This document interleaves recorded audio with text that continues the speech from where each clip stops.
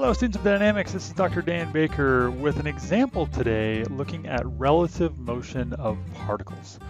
And the specific example we're going to take a look at is if you're going to throw a ball out the window of a moving car and you want to hit a target. Okay, so you have some information that you can throw at 50 feet per second, and due to the geometry of how you sit in the car, looking out the window, that you can you're going to throw at an angle 15 degrees ahead of the x-axis. So we can see here's our x-axis over here. That's going to be horizontal. So we're talking about uh, throwing here 15 degrees ahead of that. And so there's three questions that we want to ask uh, relative to this. And the first one is do you throw when the target is ahead of at or behind the car. Okay, I've drawn it here where the target would be ahead of the car. Do you think that would be the appropriate location? Or right when you're at basically horizontal um, at the same y coordinate as the target, or would you want to be on the other side of that? The next question is to identify the relative and absolute velocity terms. Okay, this is a really critical point on any of these relative motion problems. If you cannot identify the correct relative and absolute terms, you won't be able to solve many of these problems accurately. Okay, so instead of me just going through and doing that, I would like you to try parts A and B by yourself, uh, or if you're studying with someone, with the folks you're with, before you um, see the, what the answers are. Okay, so go ahead and pause the video and see if you can answer parts A and B.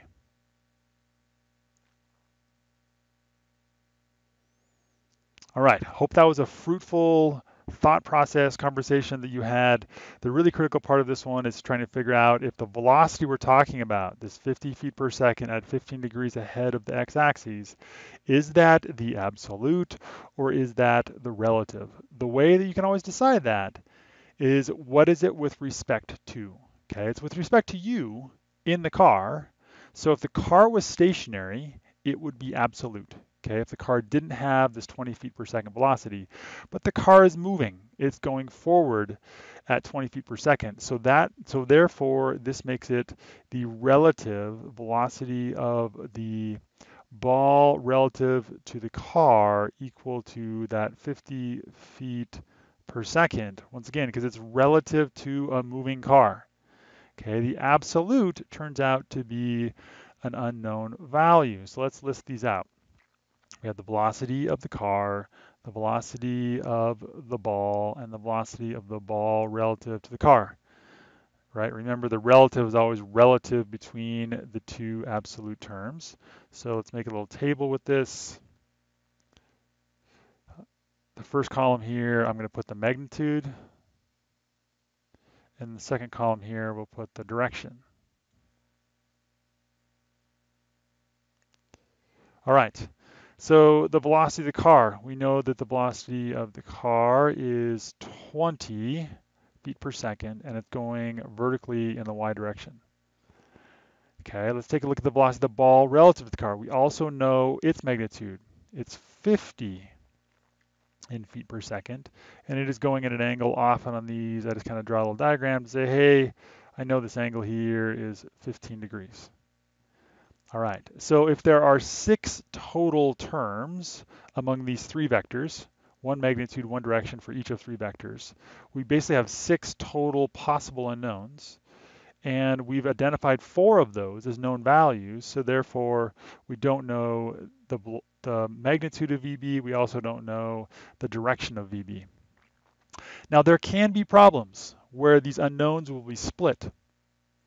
Maybe you'll have one unknown as the magnitude of one vector and then another unknown as the angle of another vector. Okay, so these unknowns don't have to be tied to the same vector term. So let's go ahead now and write an equation that relates these vectors. Let me go ahead, put these vector arrows above here because these are all vector terms. If they weren't vector terms, they'd only have a magnitude, right? If they were just a scalar value. But because they have both a magnitude and a direction, they are vectors. All right, I'm gonna go over to black ink just because everything um, is all about velocities and things in this problem, so I'll just make it unified. So our relationship, we know we're looking at the velocity of the ball relative to the car. Therefore, I can write my equation. Then on the left-hand side, I'm gonna have the velocity of my ball. That's going to be equal to the velocity of the car plus the relative velocity of the ball relative to the car. Okay. Now I could also, if I wanted to, draw a vector triangle to relate these terms. That vector triangle, I will go back to my brown for this one. I tend to draw velocities in brown. So here is the velocity of my car.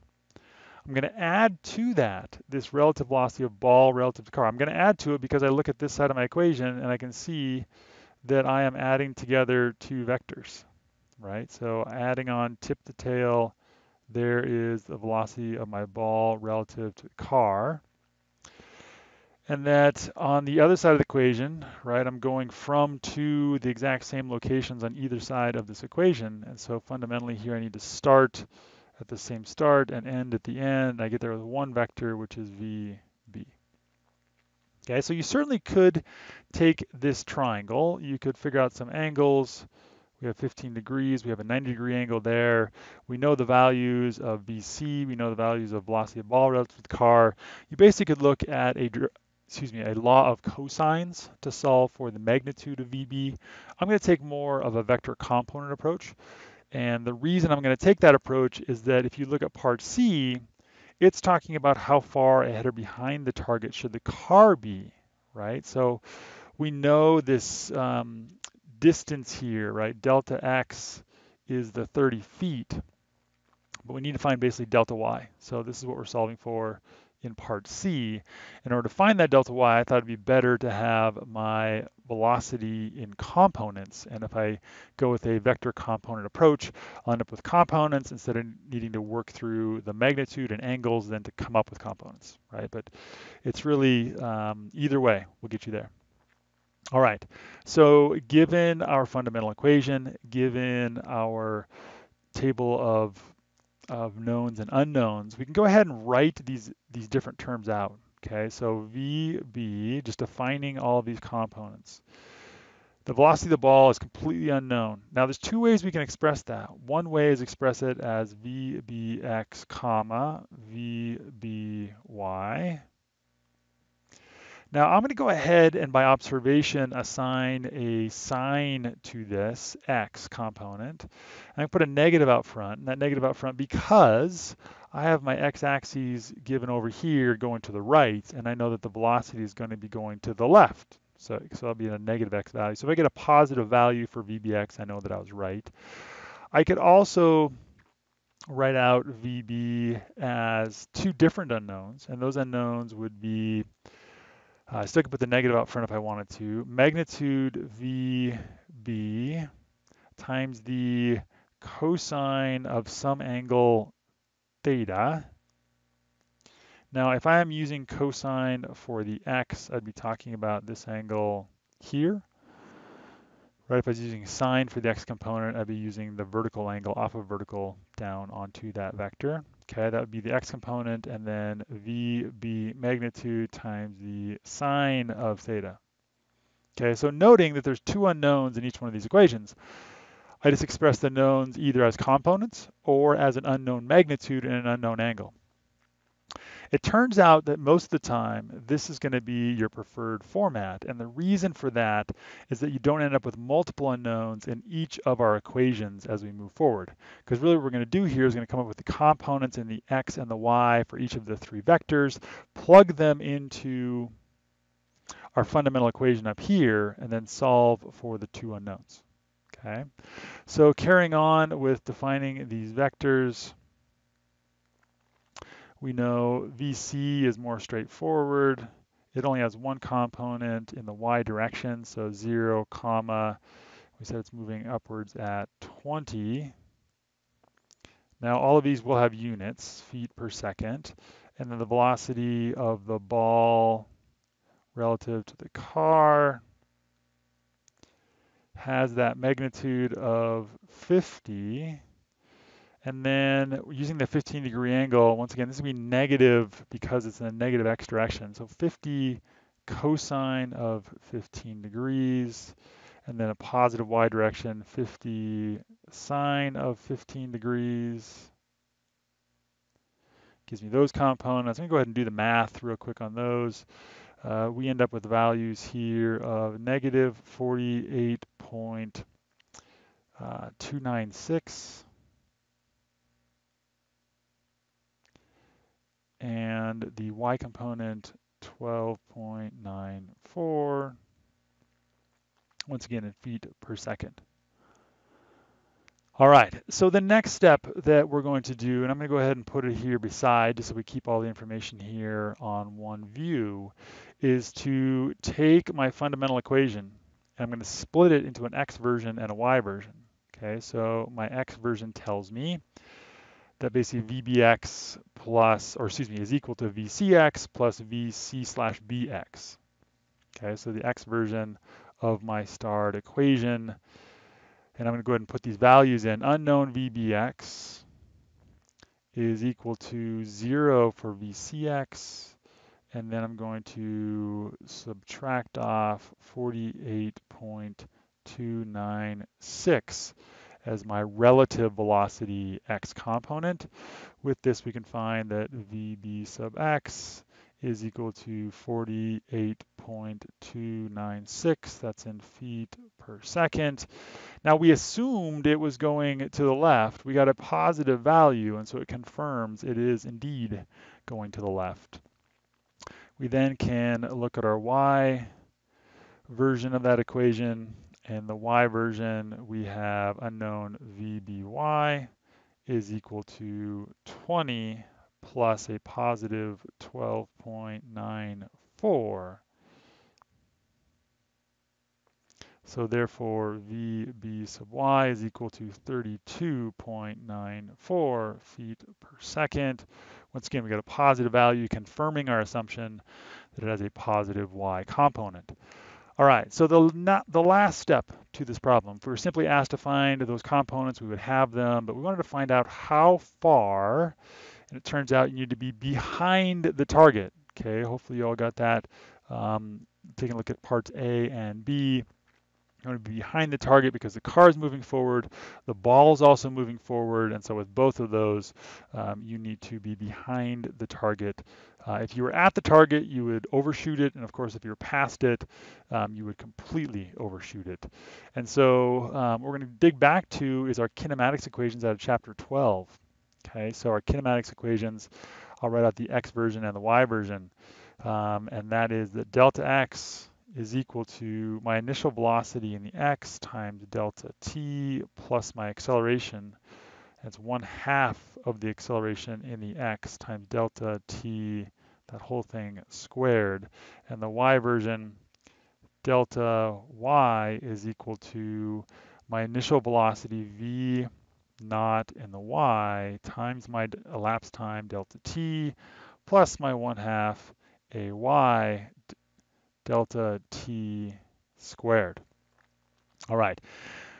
Because we're looking at a planar view, right? A planar view like you're looking down from a plane, we actually don't have to worry about the acceleration. In this case, the acceleration would be in the z direction. Okay, and so we're not worried about the overall elevation of the ball.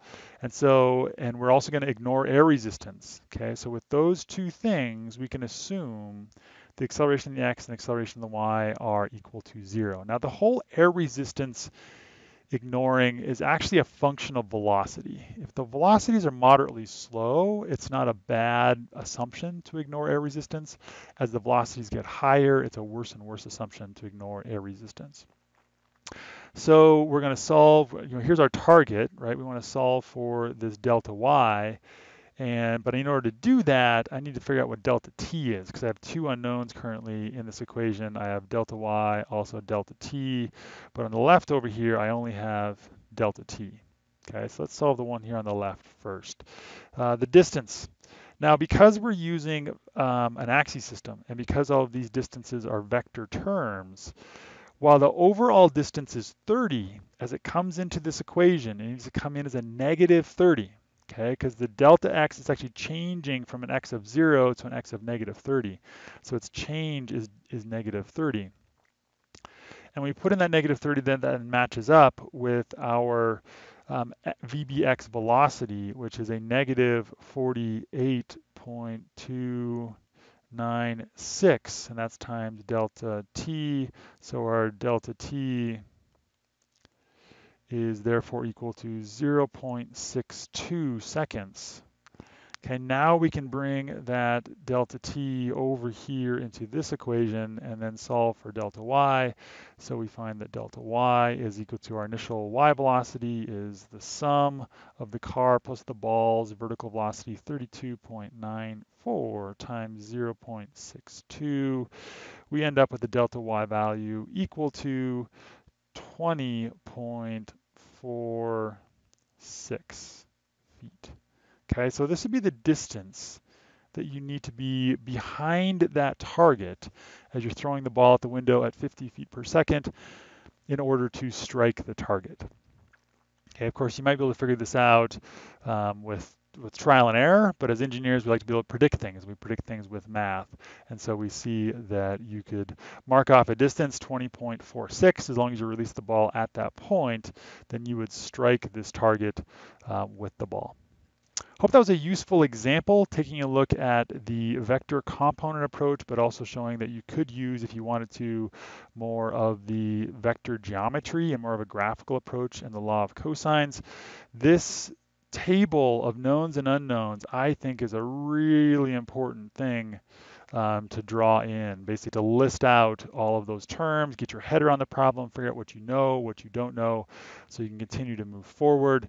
We can see in this problem we did need to reach back into our particle motion equations in order to solve what was asked for. If we had just simply been asked for the velocity itself, we could have stopped um, with the components for the absolute velocity of b in the x and y. I hope you're having an awesome day.